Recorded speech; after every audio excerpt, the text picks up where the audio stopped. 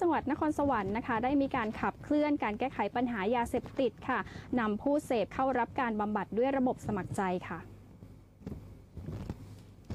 พันเอกสุรจิตสุขีเมฆรองผู้อำนวยการกองอำนวยการรักษาความมั่นคงภายในจังหวัดนครสวรรค์ได้เปิดโครงการแก้ไขปัญหาผู้เสพยาเสพติดแบบระบบสมัครใจรุ่นที่ 4 ที่กองพันทหารช่างที่ 4 ค่ายจิรประวัติมณฑลทหารบกที่ 31 นครสวรรค์ค่ะ โดยมีผู้เข้ารับการอบรม ซึ่งก็เป็นผู้เสพ และผู้ติดยาเสพติดทั้ง 15 อำเภอ ทั้งชายหญิงรวม 100 คน ซึ่งในจำนวนนี้ก็มีผู้ที่อายุน้อยที่สุดคือ 17 ปี เข้ารับการอบรมเพื่อปรับเปลี่ยนพฤติกรรม โดยผู้ที่มีอายุมากที่สุดก็คือ 63 ปีค่ะ แต่ส่วนใหญ่ก็มีอายุระหว่าง 18 ถึง 30 ปี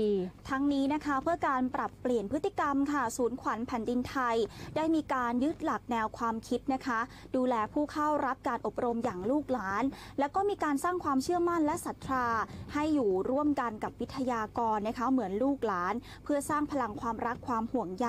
เป็นกำลังใจค่ะในการเอาชนะยาเสพติดได้ด้วยตัวเองนะคะเพื่อเป็นการร่วมสร้างแล้วก็คืนคนดีสู่สังคมค่ะ